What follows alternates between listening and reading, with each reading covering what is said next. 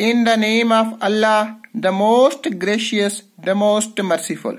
सातवीं जमात के प्यारे बच्चों आप अपनी किताब सोशल एंड पॉलिटिकल लाइफ का चैप्टर नंबर वन जिसका नाम है अन इक्वलिटी निकालो।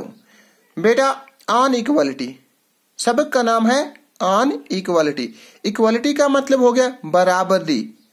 बराबरी पर, सब लोग बराबरी पर, चाहे कोई मर्द हो, चाहे कोई औरत हो, चाहे कोई अपर क्लास से बिलोंग करता हो, चाहे कोई मिडिल क्लास से बिलोंग करता हो, चाहे कोई लोअर क्लास से बिलोंग करता हो, चाहे कोई गोरा हो, चाहे कोई काला हो, कानून की नज़रों में सब के सब लोग बराबर होते हैं।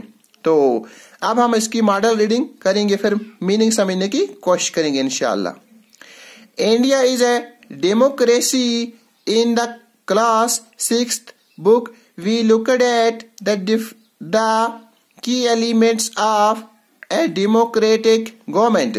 कहता है कि हिंदुस्तान एक जमहूरी मुल्क है। हमने क्लास सिक्स में देखा हुआ है, पढ़ा हुआ है कि कुछ की एलिमेंट्स कुछ वो चीज़ें, बुनियादी जिनसे हमें ये पता चला कि डेमोक्रेसी किसे कहते हैं। This includes this include people's participation, the resolution of conflict and equality and justice. कहता है कि इसमें लोगों की लोगों का की शमूलियत का ज़िक्र किया गया है। Resolution of a conflict and equality and justice बराबरी है। रिजोल्यूशन है इंसाफ है।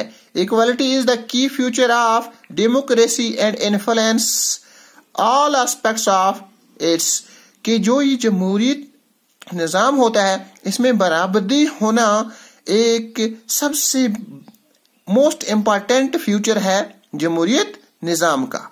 तो आज के लिए इतना ही बेटा इंशाल्लाह रहमान, कल यहाँ से आगे पढ़ेंगे। उम्मीद है कि आप सब के सब मेरा ये लेसन देखेंगे और समझने की कोशिश करेंगे। जहाँ से समझ नहीं आया तो बेटा कमेंट ज़रूर करना इनशाला मुझे उम्मीद है। Thank you